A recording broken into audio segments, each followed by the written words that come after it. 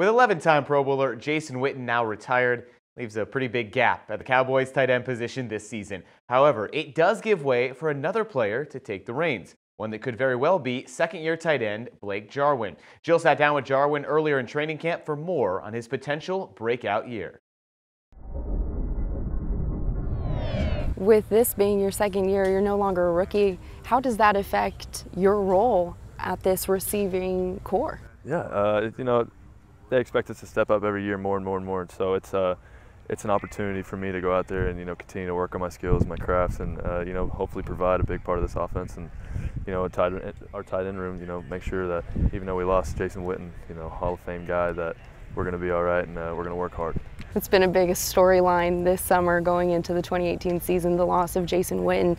Losing him, how does that affect the tight end position? Yeah, you talk about a, a leader on and off the field. I had the, the opportunity to be with him for a year and learn how he uh, you know, did everything on and off the field. Uh, how he was a complete professional about the game of football, and to have that opportunity was a blessing for me. Uh, and now it's it's different. You know, we have to step as, up as a tight end room. We've kind of conjoined together, and you know, it's a it's an effort for all of us to really make the room what it was. And Swaim's doing a great job, kind of leading that group, and Nussmeier and us young guys, we're just kind of trying to follow in and make sure we know we're ready for the day.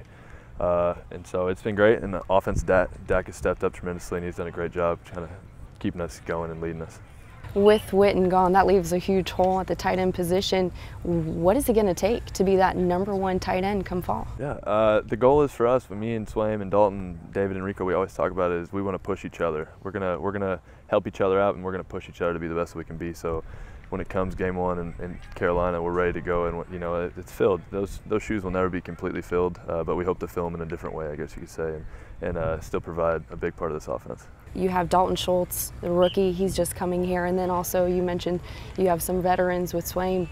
How do you separate yourself from that competition? Uh, you know, it's like I said, we just work together. We're uh, we always kind of try to get together, and whether it's in the weight room or whether it's out here before practice, we're just kind of talking about stuff. So it's it's it's never I'm gonna you know beat you by not telling you about something. I'm gonna tell you about it, and I want the we want the best person game, come game one to, to be the guy that goes. And so whether that's me, whether it's Swaim, Rico, Dalton, David, who cares? It's, it's we're going to push each other and you know give our offense the best chance to have success. It sounds like this is a very close knit tight end group. Absolutely, yeah. When you lose, you know, you lose a guy like Witten, you gotta you gotta come together. Uh, it's going to take some time for us to really figure out everything that he had, and you know, we don't we don't have 15 years experience like he did, even combined in the room. So we got to really work hard together. How are you personally going to step up this season? Yeah, I want to. I just want to make sure I'm uh, consistent in my play. Uh, you know, I've got a long way to go. I've got to get as many reps in camp as I can. And so the goal is to just take everything in, whether I'm in the play or not. I'm gonna I'm gonna make sure I know my uh, responsibilities.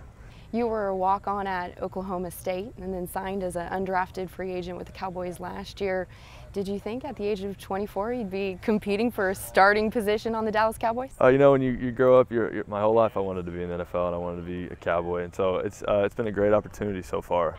Uh, to have this at 24 is, you know, it's just a real opportunity. Not very many people have, you know, had this. And so I'm very thankful for it and I'm excited. What was the biggest takeaway for you from the 2017 season?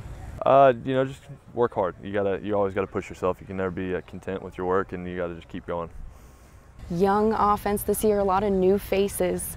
How crucial are these next couple weeks of training camp? Oh, very crucial. I think the the camaraderie that you get from camp, and then also the hard work that we're about to get for the next two, three, four weeks is going to be very crucial to uh, our chemistry moving forward. And so it's going to be great to, to see how we we move forward these next few weeks, and I'm excited for, for game one. Have you seen a little bit of that chemistry increase, come together a little bit here in Oxnard? Oh yeah, yeah, and I, especially when we start putting the pads on, that's really where it's going to show, and uh, I think that it's going to take, we're going to have some growing pains, of course, but it, it should be good for us. Uh, you know, we'll get all the kinks out and ready to go. Awesome. Blake, thank you so much. Yes, Best thank of you. luck this season. Thank you very much. McCombs Ford West will save you time and money on your next vehicle purchase on 410 West at Culebra. You're watching Sports2Nite, San Antonio's only nightly 30 minute sportscast with exclusive sports coverage you won't find anywhere else.